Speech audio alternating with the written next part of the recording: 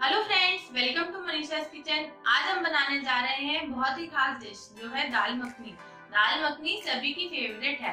आप इसे पार्टी में बनाएँ, या फिर कोई भी छोटी मोटी गैदरिंग में आप दाल मखनी को ट्राई कर सकते हैं। अगर आपको वही रेस्टोरेंट वाला टेक्सचर चाहिए, जो होता है एकदम क्रीमी और यमी तो मेरी रेसिपी को ट्राई करना ना भूलें। तो चलिए स्टार्ट करते हैं दाल मखनी बनाना। दाल मखनी बनाने के लिए मैंने लिया है आधा चम्मच जीरा वन फोर टेबल स्पून हींग, दो छोटी इलायची, एक बड़ी इलायची, एक चम्मच जिंजर गार्लिक पेस्ट आधा चम्मच रेड चिली पाउडर आधा चम्मच coriander powder one fourth tablespoon दालचीनी पाउडर एक चम्मच नमक, तीन बड़े चम्मच देसी घी 50 ग्राम बटर आधा कप क्रीम और आधा cup tomato puree. Tomato puree की जगह आप फ्रेश टमाटो भी यूज़ कर सकते हैं। तो चलिए स्टार्ट करते हैं दाल मखनी बनाना। सबसे पहले हम दाल को बॉईल करेंगे। प्रेशर कुकर में हम दाल चढ़ाएँगे।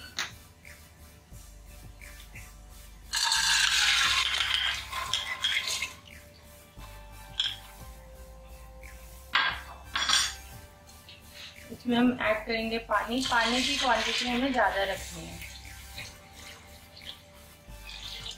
ये देखिए, मैंने इतना पानी इसमें लिया है और डालेंगे नमक। हल्दी का इस्तेमाल हमें नहीं करना।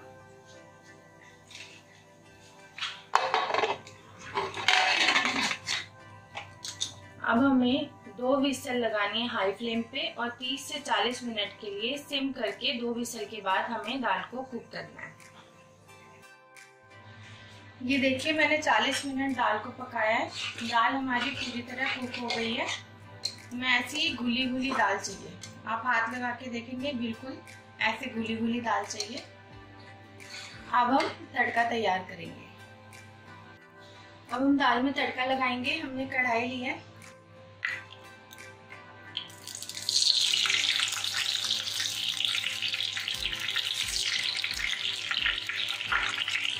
फ्लेम को लो कर लेंगे। घी के साथ ही हमें बटर डालना है। अगर आप सिर्फ़ बटर डालेंगे तो आपका बटर जल जाएगा।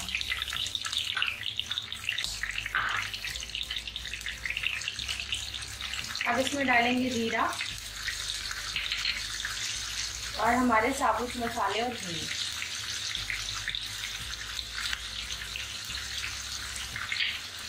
अब फ्लेम को लो कर लेंगे।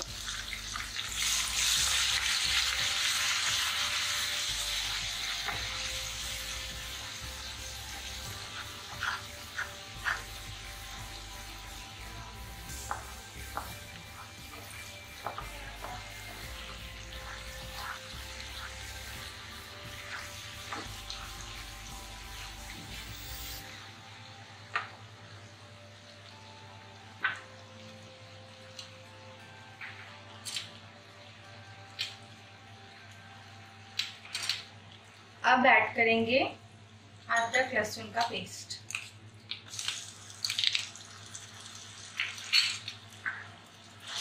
एक मिनट हाई फ्लेम पे इसको भूनेंगे.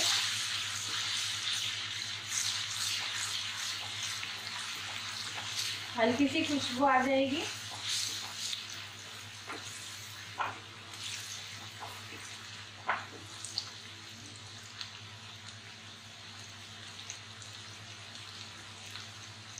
अब ऐड करेंगे टमाटो प्यूरी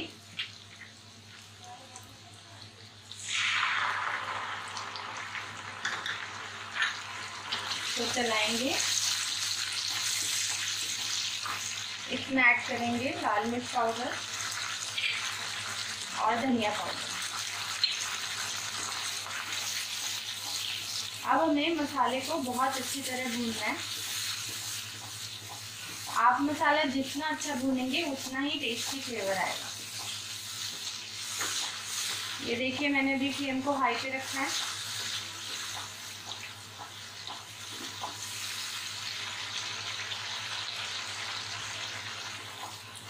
एक मिनट हाई फ्लेम पे चलाएँगे। एक मिनट हाई फ्लेम पे चलाने के बाद इसमें हम दाल ऐड करेंगे।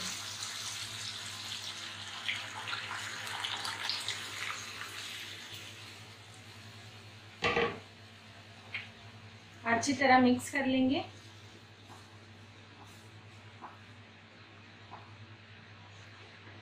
अब दाल में एक उबाल आने देंगे। फ्लेम को हाई पर ही रखें।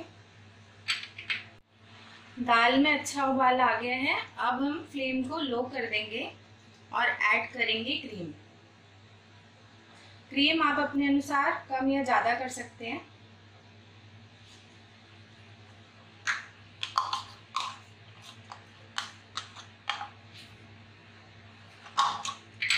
अब इसको मिक्स करेंगे।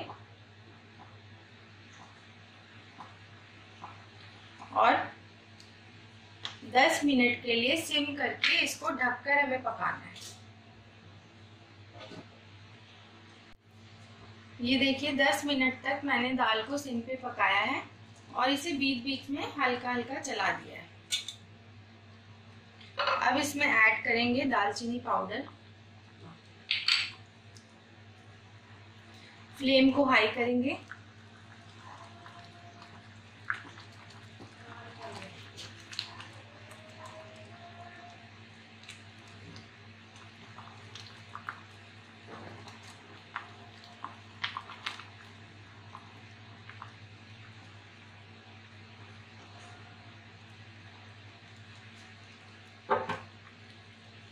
दो मिनट पकाने के बाद फ्लेम हम ऑफ़ कर देंगे। दाल हमारी सर्व करने के लिए रेडी